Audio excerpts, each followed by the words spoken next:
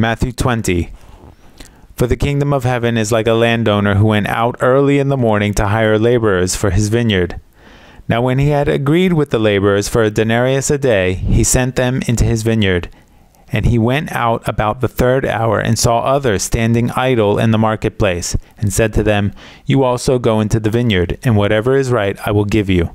So they went. Again he went out about the sixth and ninth hour, and did likewise. And about the eleventh hour he went out and found others standing idle, and said to them, Why have you been standing here idle all day? They said to him, Because no one hired us. He said to them, You also go into the vineyard, and whatever is right you will receive. So when evening had come, the owner of the vineyard said to his steward, Call the laborers and give them their wages, beginning with the last to the first. And when those came who were hired about the eleventh hour, they each received a denarius. But when the first came, they supposed that they would receive more, and they likewise received each a denarius. And when they had received it, they complained against the landowner, saying, These last men have worked only one hour, and you made them equal to us who have borne the burden and the heat of the day. But he answered one of them and said, Friend, I am doing you no wrong. Did you not agree with me for a denarius? Take what is yours and go your way. I wish to give to the last man the same as to you. Is it not lawful for me to do what I wish with my own things? Or is your eye evil because I am good? So the last will be first, and the first last. For many are called, but few are chosen.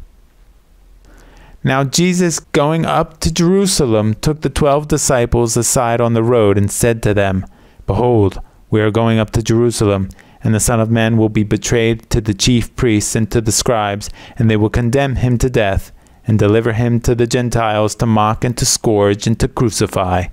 And the third day he will rise again. Then the mother of Zebedee's sons came to him with her sons, kneeling down and asking something from him. And he said to her, what do you wish? She said to him, Grant that these two sons of mine may sit, one on your right hand and the other on the left, in your kingdom.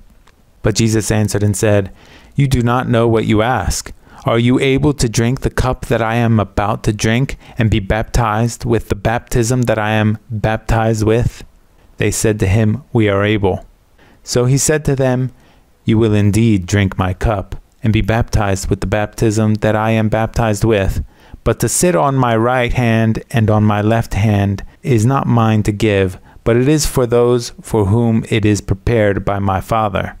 And when the ten heard it, they were greatly displeased with the two brothers. But Jesus called them to himself and said, You know that the rulers of the Gentiles lord it over them, that those who are great exercise authority over them. Yet it shall not be so among you. But whoever desires to become great among you, let him be your servant. And whoever desires to be first among you, let him be your slave.